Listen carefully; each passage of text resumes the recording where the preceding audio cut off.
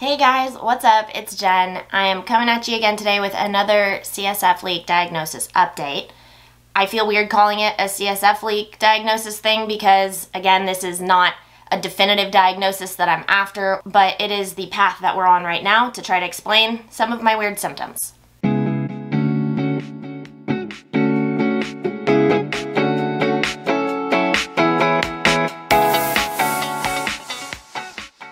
If you're new here, it's been about five years that I've been symptomatic with chronic migraine and about two years that I've had POTS. Please do dig through my channel to see more about what my life is like, but the basic rundown right now is that I'm trying to get to the bottom of maybe if there's something underlying that could be causing all the symptoms that I'm having. Because even though those are the diagnoses that I've been given, I don't totally fit just those bills. Like I definitely have chronic migraine and I definitely have POTS but there's also some weird stuff that's happening that just does not fit the puzzle. Not gonna get into those details now. Go back on my channel. I've been updating you guys pretty much throughout the whole story.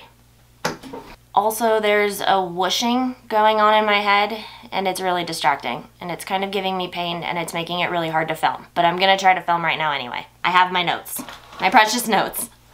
A majority of the reason that I want to update you guys is because it's been a couple of months since I've said anything about this. But with this update, I want you to kind of pay attention to the timeline and how much time is just getting wasted and how little progress we've made in the last year. Because this is what keeps happening to chronically ill people there's this horrible thing where stuff gets put off, they won't do imaging, they will do imaging, they won't do imaging. The doctors can be very wish-washy about whether or not they want to diagnose you. Most of the time, at least for my symptoms, if I say certain things, they're like, oh, it's just migraine. Or if I say certain things about my POTS, like, oh, you're just anxious. And it's like, yeah, okay, random palpitations can totally make you anxious, but that doesn't mean that the anxiety is what's causing the palpitations positional anxiety, positional allergies that'll be cured with physical therapy. Like, you guys have no idea the ridiculous stuff that these doctors have said to try to explain away my symptoms and tell me that all I need is to take these pills. Already on tangents. This is going to be a tough video. If you've never been chronically ill, you're probably like, are you serious? But yeah, this is real. So, this is an update video, but it's also a like what the heck video and just so you know video. I think this will certainly be validating for those of you who are chronically ill and going through the same thing. And it'll be enlightening for people who are not chronically ill, who are used to like, oh, my arm hurts, go to the doctor. Your arm's broken, put a cast on it, and then you leave and everything's fixed. Once you're complicated, they tend to give up. Once you're complicated, they tend to just push medicant, uh, medication plus medicine is medican. Let's get going with this update. Last September was when a follower sent me a message on Instagram and said, you know, you kind of fit the symptoms of a CSF leak. Have you considered maybe looking into that or have your doctors mentioned anything like that? Most of the time, the advice that I get doesn't actually fit because you guys only know the snippets that I share on here. But this one, I dug in a little bit more and I was like, oh, there might actually be something to this. So there are things that you can do with like a glucose meter, with a halo test, things you can do at home to see if maybe a CSF leak could be your diagnosis. So when I did those tests, it seemed like a possibility, so we started down that path. That was last September. It's now July. We've made so much progress. In September, I was pregnant, so we got an MRI of my brain in October, but we couldn't do contrast. Shh, don't interrupt my video. I had the baby at the end of December, and I went in for my MRI with and without contrast in February. February 2021, so we're now five months ago. I did that at the request of a neurologist that I got in contact with in January, trying to explain this whole situation and letting her know that I wanted to explore this route if they thought it was a good route to explore. Now this lady neurologist is the person who's in between me and a CSF leak specialist a real specialist, like one of the big names. So I was like, all right, if I talk to this lady, she can let me know if I qualify. She can talk to the CSF leak dude, and then we can get the ball rolling that way. In March, I had the appointment with her, and she recommended doing the 48 hour flat test. But because of me having the newborn and everything and needing to plan everything ahead with, are we starting to stutter? Needing to plan ahead because we have the newborn, it took me until April to perform the 48 hour flat test. I vlogged that 48 hour flat test and it ended up being positive, meaning my symptoms are positional. That's one of the huge indicators that it could be a CSF leak. Yeah, I'm stuttering. POTS is positional, but it's cardiac and other autonomic things that get affected by POTS. Migraine is not positional. I have complex migraine that shares a lot of the symptoms of CSF leaks, but I get those complex migraine symptoms even when I'm not in migraines. And with this test, we found out that it was really just due to positional changes. So, ding, ding, ding, ding, ding. The doctor was like, um, I think her wording was, it does seem like your symptoms are really positional, so we should proceed with a full spine MRI. That's the last update that I gave you. You can watch that video here. It was a crying sob fest of me just freaking out that this doctor wanted to order another MRI, a different MRI, anything different other than the last five years of just brain MRIs that I've been getting. I was also crying because I was like, oh my gosh, finally someone's telling me that I don't just have anxiety. Finally someone is humoring the fact that maybe I have a logical reason to think that symptoms that happen outside of migraine can't all just be attributed to migraine and symptoms that don't fit migraine should not be classified as migraine. How many times can I say that?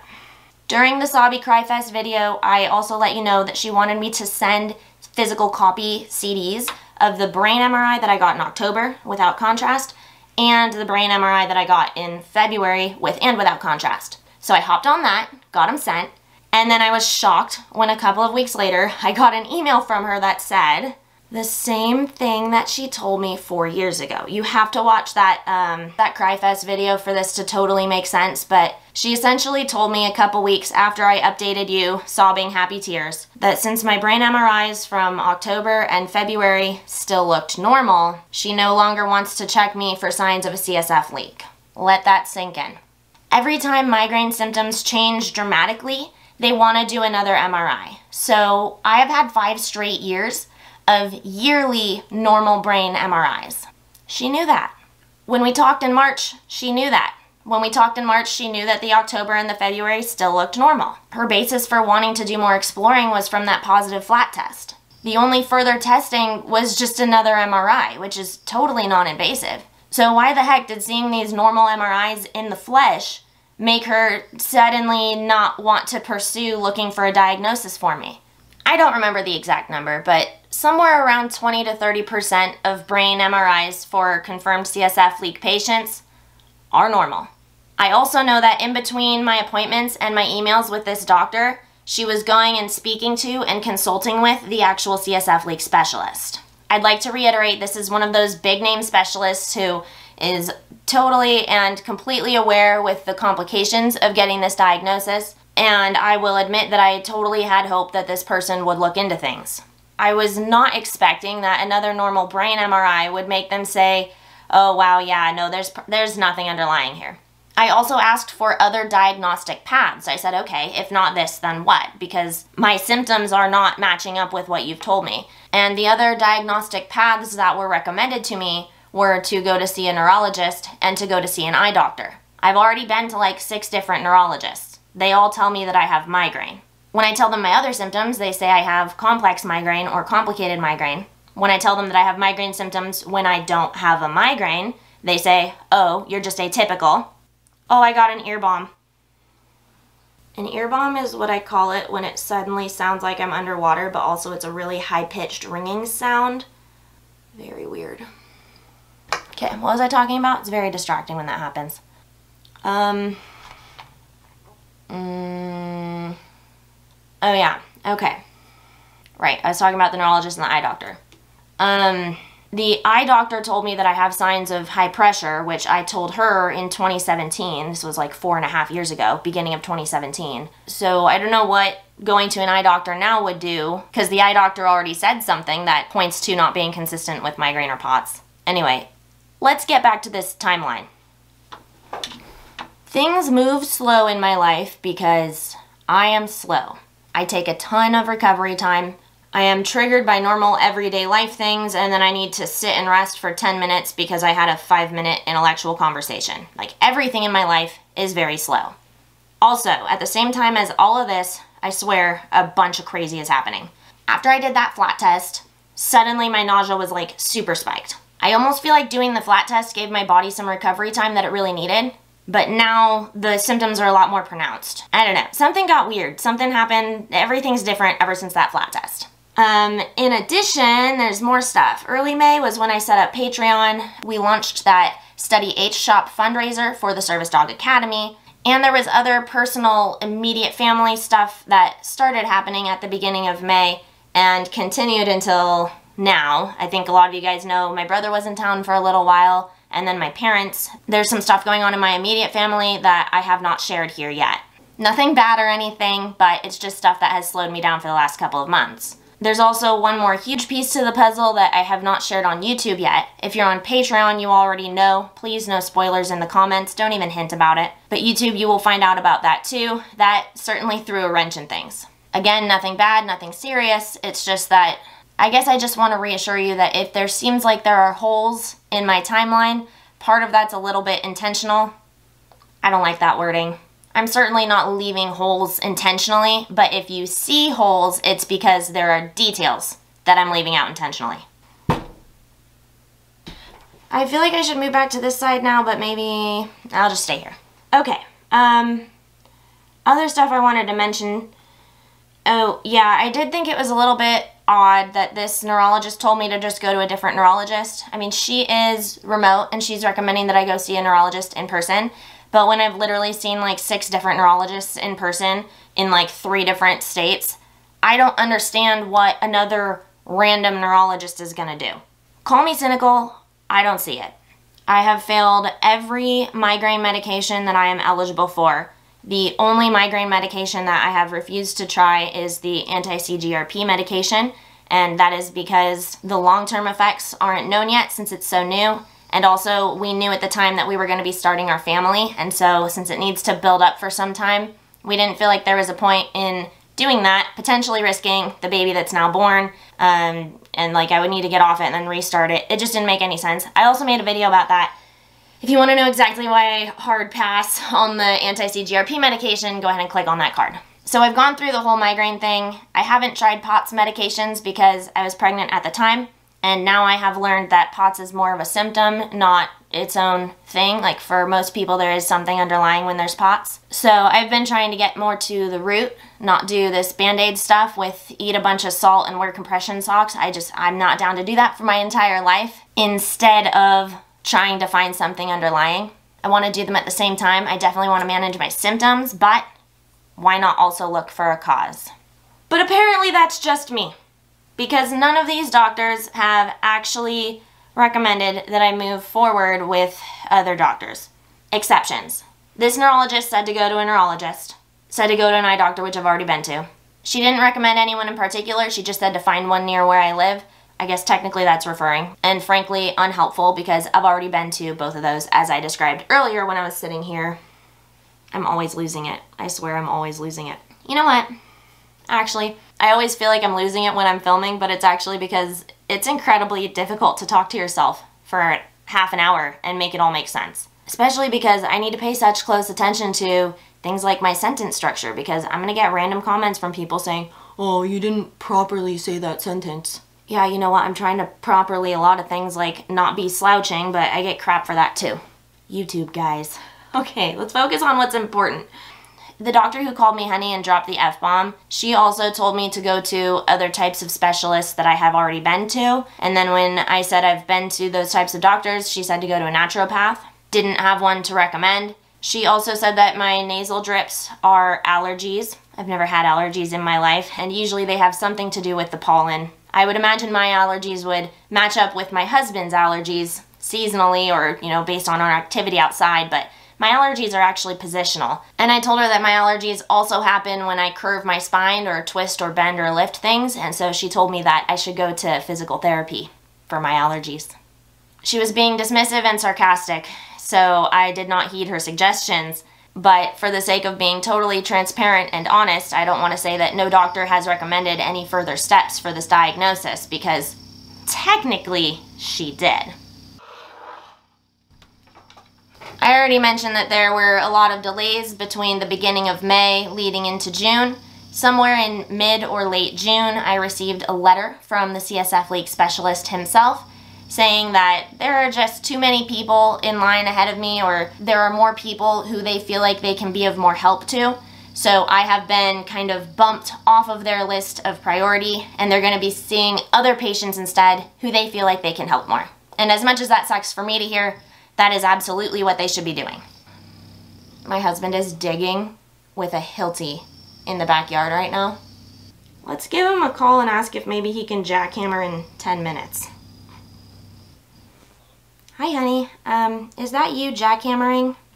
Do you think maybe you could pause for like five minutes so I can finish filming? All good. All right, thanks. Love you. Bye. I'm absolutely glad that that is the way that they're choosing who to see. However, I do wish that back in April when they got my positive flat test and decided that they were going to look into me, that they would have told me at that point that it was possible they would just drop me in a couple of months. Because between April and now it's mid-July and I just got word, that's two or three more months of my life just gone to these conditions. And I don't want to say completely gone because obviously I'm living, I'm working, the baby is growing and all of that, but this is time that I didn't need to suffer. And if I had known that it was going to be a dead end or that there was potential for it to be a dead end, then I probably would have opened some other channels when I felt like I could. When I got that, I'm going to look into you in April, May, whenever I posted that Sabi video. I really truly thought that they were going to look into me at least a bit. There's a certain relief that happens when a doctor says, you know what, I'm gonna look into you if or if and when a leak wasn't the answer, I was thinking maybe they would look into something else because they gave me that false hope that they saw what I saw. And that's the hardest thing about being chronically ill. You just get passed between doctors, between specialists, and nobody wants to take the time to look into what everybody has said. My phone is blowing up, isn't it? The doctors don't have, I don't know, the time, the patience, the willpower, the critical thinking abilities. I don't mean to be rude, but these guys are supposed to be like the epitome of intelligence, and that is just not what I get from them. They're supposed to be all these things, caring and empathetic, and really want you to get better, and that has not been my treatment in the medical system. Not for my migraine, other than they're more than willing to give me medication and keep seeing me every month. Not when it came to POTS, although they're more than willing to give me medication and keep seeing me every month.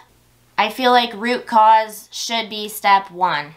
I don't feel frustrated right now, but it is frustrating that it's been five years and I'm still just jumping around between people asking like, hey, is there maybe like something genetically that could make me predisposed to all of this stuff? Is there maybe something hormonally where maybe, you know, my thyroid keeps dropping in function every year? Do you think something like that has to do with it? Clearly something is wrong here other than that I get migraines and I have POTS. And I just wish that somebody would kind of like look. So, a dead end. I don't know where to go from here. I'm feeling quite discouraged. I'm not going to give up, but I don't know what the next step is or when it will be. I don't know. I'll leave you with the very last thing that I sent to my doctor, and that was this. I did tell her that I've seen a handful of neurologists. The tests come back normal and we don't get past the migraine meds. That's as far as anybody will go with me. I'm paraphrasing here. I told her that migraine as a diagnosis ignores many worrying symptoms that happen outside of migraine. And I also said we can't know for sure if I have a leak, but I do believe that non invasive tests are worth doing because I fit the symptoms and the risk factors. I'm diagnosed with complex migraine and POTS, gut issues, Three doctors have said they suspect EDS in my family because the women are flexible and the men are tall. I have a history of chiropractic care. I have bone spurs in my neck. I have at least three substantial hits to the head and two serious spinal whip injuries from gymnastics, and each took four to six months to properly heal. She said I fit the symptoms of a spinal CSF leak, and I told her that I have two spinal whip injuries from gymnastics that were four to six month healing process injuries and she's still taking back an MRI. Anyway, I said plus the symptoms get worse with changing positions and rounding my back. I wrapped up with I may only have migraine, but it's a tragedy when patients have a fixable leak and nothing is done to treat that underlying problem. It's a tragedy when patients have an underlying anything, fixable or not, and we don't address that problem. Because let's say this is all, this is hypothetical, but let's say it is all my thyroid. We know that. We know the numbers are dropping. We've been watching the numbers drop. Nobody's looking into it. You know what I've been told? My lactation consultant said eat a Brazil nut every couple of days. That's it.